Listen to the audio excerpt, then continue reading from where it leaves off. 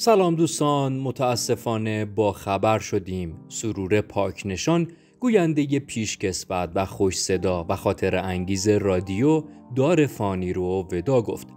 از همینجا به خونواده این گوینده و اهالی دوبله و رادیوی کشور تسلیت میگیم و در ادامه با ما همراه باشید تا با زندگی شخصی این هنرمند بیشتر آشنا بشیم.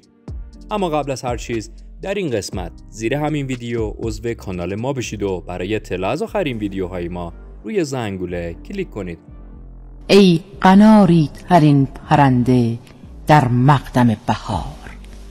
خانم سرور پاکنشان متولد 1323 در شاهروده و از سال 1342 در رادیو گرگان به عنوان گوینده مشغول به کار شده و در همون سالهای اولیه کار در رادیو به تهران اومده و تا به امروز گویندگی برنامه های مختلفی چون فرهنگ و مردم، خانواده، علم و زندگی و بسیاری دیگر رو به عهده داشته. او همیشه از رادیو به عنوان زندگی یاد می‌کنه. خانم سرور پاکنشان گوینده پیشکسوت رادیو معتقده یک گوینده باید راهش رو انتخاب کنه و ببینه در تلویزیون یا رادیو موفق داره و در حوزه‌ای که به نظرش موفق تره کار کنه اما خودش با حضور همزمان در رادیو و تلویزیون موافق نبود. این گوینده رادیو با بیان این مطلب گفته تلویزیون همیشه برای خیلی از افراد وسیله جذابیه. اما من شخصا هیچ علاقه نداشتم در تلویزیون کار کنم. و معتقدم گوینده رادیو همیشه باید چهره ناشناخته ای داشته باشه تا کلامش نافذتر باشه. تصویر می‌تونه عامل حواس پرتی باشه و ذهن مخاطبان رو به جای جذب پیام به مسائل حاشیه‌ای معطوف کنه. خانم پاک نشان گفته استتار گویندگان رادیو مسئله جالب توجهی.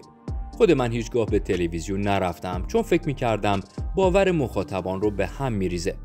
اگر گوینده ای تشخیص بده حضور در تلویزیون براش بهتره این کار رو انجام بده ولی خیلی از گوینده ها بعد از حضور در تلویزیون به رادیو برگشتن جالبه بدونید خانم پاک نشان همچنین شاعر و پژوهشگر علم و ادبیات بود و در مصاحبه هاش گفته بود یه گوینده باید بتونه راهش رو به بهترین شکل انتخاب کنه و عاشقانه به کار خودش ادامه بده. آقای نصرت الله علیمی همسر مرحوم سرور پاکنشان گفته در همون سالهای اولیه کار در رادیو به تهران اومد و تا به امروز گویندگی برنامه های مختلفی چون گلها، فرهنگ و مردم، علم و زندگی و برنامه های بسیار دیگر رو بر عهده داشته. خانم پاکنشان در ابتدا در تلویزیون اون زمان اخبار هفته رو همراه خانومی در روزهای جمعه می‌خوند تا اینکه از اون برای برنامه های رادیو دعوت و بعد از قبول شدن در تست گویندگی مشغول به کار شد. البته در اون مقطع معیارهای انتخاب گوینده بسیار مشکل و سختگیرانه بود و اگر فردی می‌تونست از این مرحله عبور کنه انگار که شاخ قول رو شکسته. و پاک نشان بعد از گذشتن از این مرحله پشت میکروفون برنامه های زندگی رادیو نشست. در اون زمان بزرگانی همچون اخوان سالس، دکتر هروی و غیره کنترل برنامه های رادیو رو در دست داشتند و گوینده باید خیلی مراقب بود که اشتباه نخونه و پاک نشان همیشه نهایت تلاشش این بود تا اشتباهی از اون سر نزنه.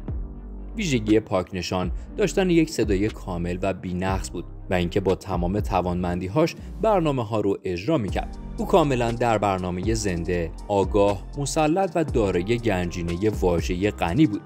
زیرا این پیشکسوت رادیو همیشه اعتقاد داشت یک گوینده باید مخاطبش رو بشناسه و بدون برای چه مخاطبی صحبت می‌کنه و همین توانمندی باعث شده تا سبک اجرای اون در هر برنامه متفاوت و خاص محتوای برنامه مربوط باشه مرحوم خانم پاک نشان کارنامه پرباری در عرصه گویندگی به یادگار گذاشتند و عمری صادقانه و عاشقانه فعالیت کردند و در خاطر مخاطبان با برنامه هایی چون فرهنگ و مردم سهشنبه های صورتی و غیره ماندگار شدند و حتی در دیدار اهالی رادیو با رهبر انقلاب از سوی وی مورد تشویق و تقدیر قرار گرفتند. او در دوران چهل ساله فعالیت خود اجراهای موفقی در برنامه های اجتماعی، ادبی، فرهنگی و علمی داشت که یک تهیه کننده پیشکسوت رادیو این امر رو ناشی از انعطاف صدای این گوینده می‌دونست. از فعالیت های او میشه به گویندگی در برنامه های کاروانی از شعر و موسیقی و گل های تازه و بعدها برنامه های مجله صبحگاهی و علم و زندگی اشاره کرد. البته گفتنی بود او برنامه های آینه جادو، تعاون و توسعه، سرود روشنی و ویژه برنامه های مناسبتی اعیاد و وفات در شبکه سراسری رو گویندگی می‌کرد. خانم پاکنشان معتقد بود جلوی دوربین تلویزیون قرار گرفتن اون رو در زیر ذرهبین دیگران قرار میده و دوست داره که هر فردی اون رو همونطور که از صداش حس می‌کنه تصور کنه این گوینده هنوز هم به نوارهای برنامه های خودش گوش می‌کرد و از خودش ایراد می‌گرفت او عشق و علاقه به کار اهمیت و جدی گرفتن اون رو یک اصل برای گوینده رادیو به شمار می آورد. خانم پاک نشان با یادآوری خاطرات دوران کوتاه فعالیت گویندگی خودش در تلویزیون میگه گاهی اوقات در خیابون می‌دیدم که جوانترها وقتی من رو می‌دیدند کنارم میایستادند و می‌گفتند اطلاعات گزارش میده خانم پاک نشان در مصاحبه در مورد اولین روزهای کارش در رادیو گفته در سال 1339 آقای اعتمادی در مؤسسه اطلاعات کار می‌کرد و در تلویزیون اون زمان اخبار هفته رو به همراه خانومی در روزهای جمعه می‌خوند.